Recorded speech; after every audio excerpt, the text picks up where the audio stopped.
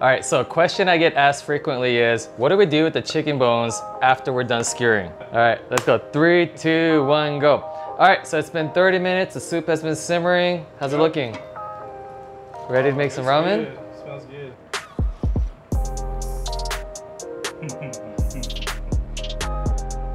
You can taste that, just the chicken. It's very clean.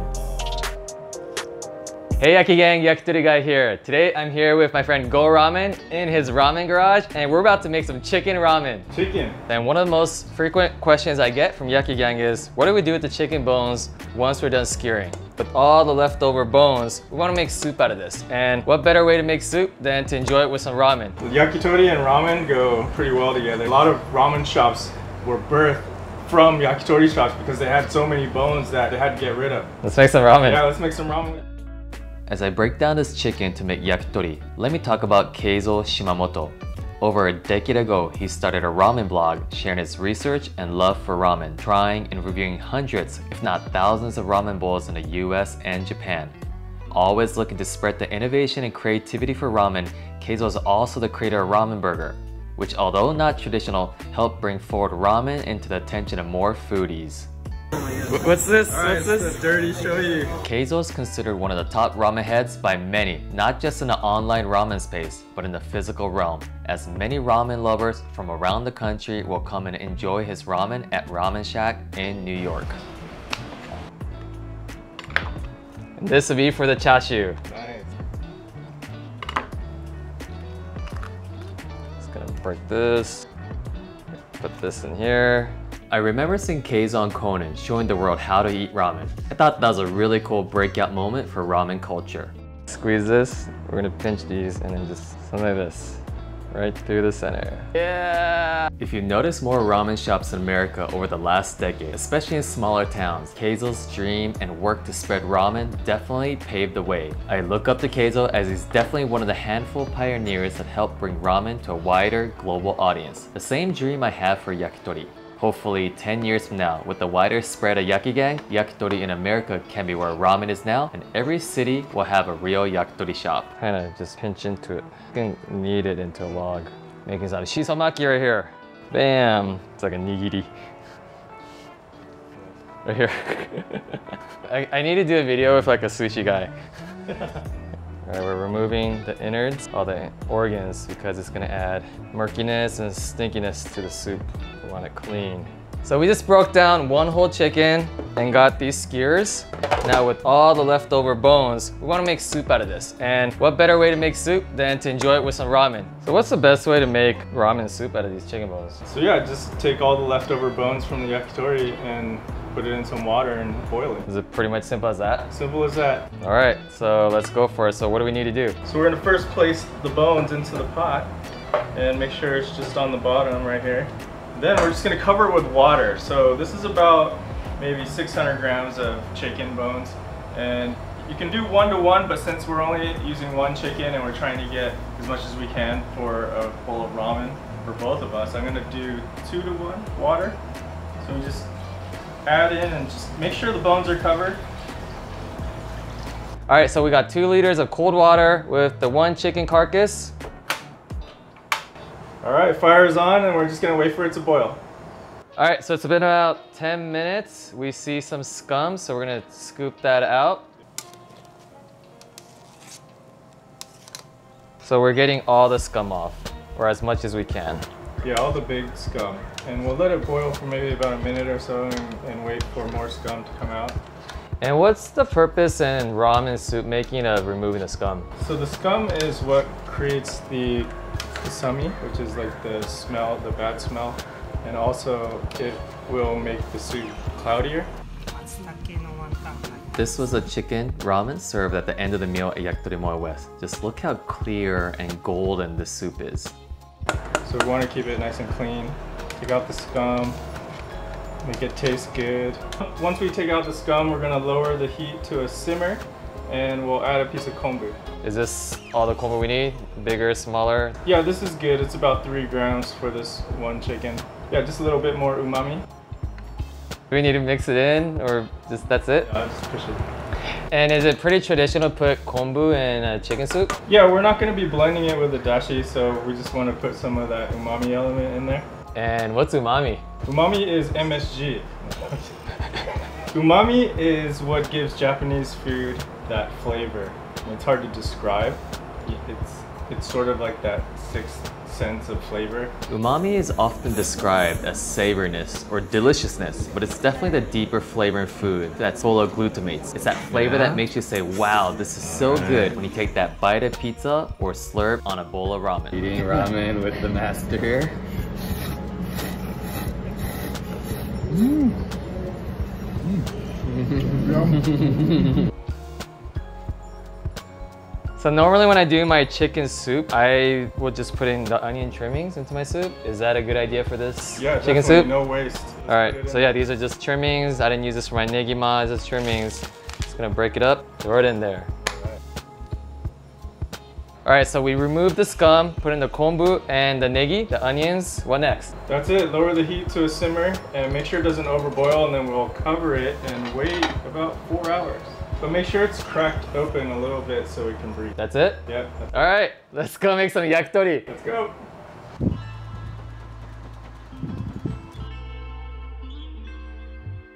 Bincho Grill recently updated their yakitori rods. So this is the original one, this is a new one.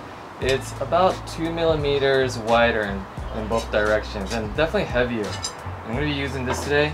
The idea is with the thicker rods, it's gonna be heavier. Definitely you can feel it. So it shouldn't slide around as much. So we'll test it out and find out.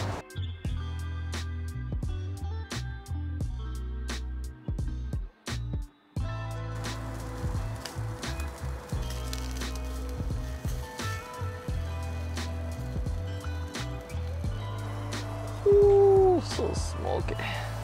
Negima. Kanpai. Oh.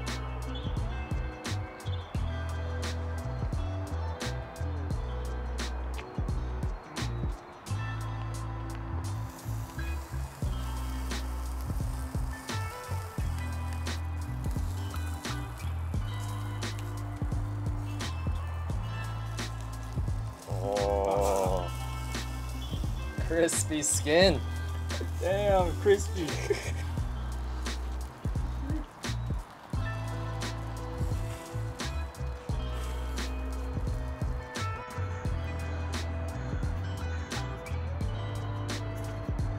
All right, so it's been about three and a half hours since we put this on the stove. All right, it's smelling good. How's it looking so far? It's looking good. It's nice and clear. Uh, you got a little chicken fat on the top right here. I think it's almost about done. Maybe 30 more minutes. 30 more minutes and we'll eat some ramen. Yep. All right, so it's been 30 minutes. The soup has been simmering. How's it looking? Ready to make some ramen? good. Smells good. Okay, so we're just gonna ladle the soup over here and strain it gently.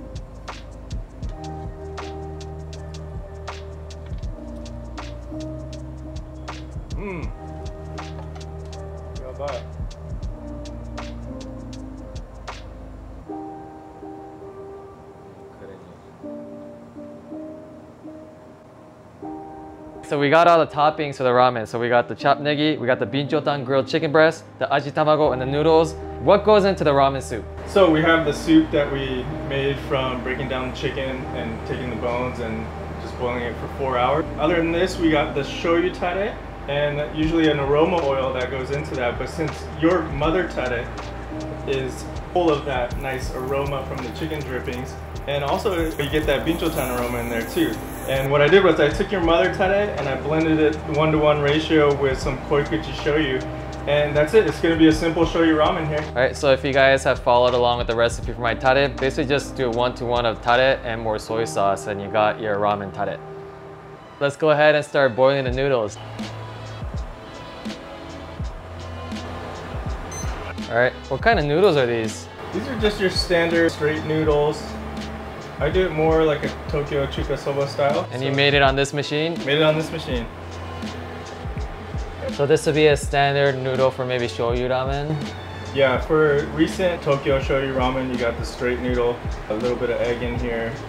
Nice and chewy, but still firm. All right, so we got the tare. And I'm just gonna put a little black pepper.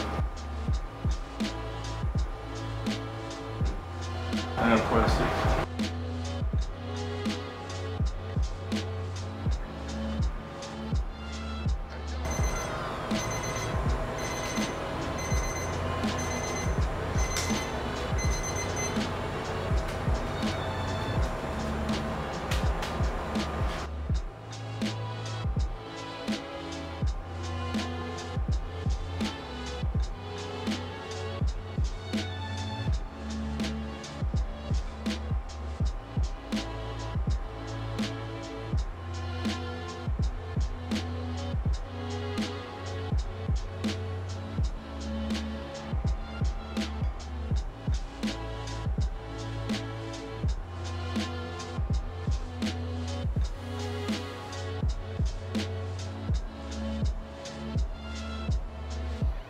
All right, what's the best way to eat ramen? I like to take a sip of the soup Okay, and then slurp the noodles. let's do that. Itadakimasu. Itadakimasu.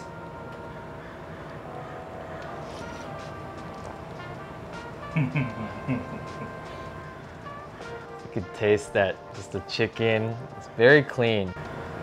We got the noodles.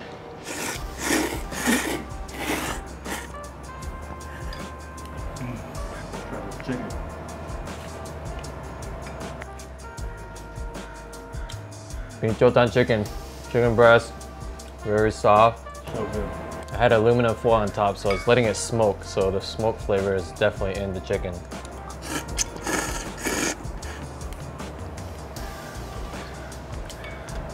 Oishine. so good. Origami is good.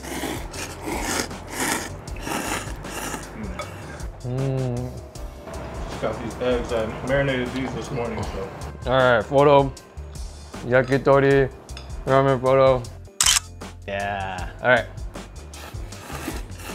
So we just concluded our yakitori meal with our shime ramen. Basically the shime means closer and ramen is definitely one of the best ways to just comfortably just close out the stomach, close out the night. We have all the small skewers and at the end I get the hot soup and the noodles. I feel stuffed. Yeah, me too. I'm actually surprised it came out so good. Like I've never used your mother tare before a ramen tare. So if you guys are making yakitori at home, you have all the ingredients. You have the bones, you have the tare, and the noodles. What can they use for noodles? I work for Myojo. You can always go to Mitsuwa and buy some noodles from the Myojo packs, or you know, hit me up. I don't know. Maybe I'll have some to sell. So Mitsuwa, that's a Japanese grocery store. I've definitely seen Myojo noodles at different Asian grocery stores, so check that out. If not, there's a lot of resources on the internet on how to make ramen, so maybe check those out. But if you wanna learn more about what Go Ramen is doing, hit him up on Instagram, Twitter, and your blog. And you have an announcement? Yeah, Ramen Shack is coming back. It's San Capistrano this summer, so hopefully you can make it out there. I'll have all the nostalgic bowls on there, plus some new ones. Yakitori ramen? Yakitori ramen, let's do it. all right, all right. And for others, if you guys do want to learn more about sort of how to make ramen at home, my focus is on yakitori, but we do have a mutual friend, Way of Ramen. Check out his YouTube channel, Way of Ramen. He pretty much shows you everything we did today about making soup, even making noodles, making the ajitama, the, the egg, all of that. He kind of shows you step by step how to make that. So definitely check that out. And hopefully Way of Ramen, you'll be doing some yakitori ramen soon. I love ramen, I love yakitori. Thank you, Go Ramen, for Too. I love ramen. I love yakitori. thank, thank We're you. meant for each other. Thank you for basically showing all the steps. I hope you guys enjoyed today's video on the chicken ramen, which we made using the yakitori bones. If you guys liked this video, make sure to give a thumbs up, write in the comments, and don't forget to subscribe. And if you really enjoyed this video, you can always donate a chicken. It helps support this channel. All right, that's it for today. See you guys in the next video. Bye, Yaki Gang. Bye, Yaki Yang.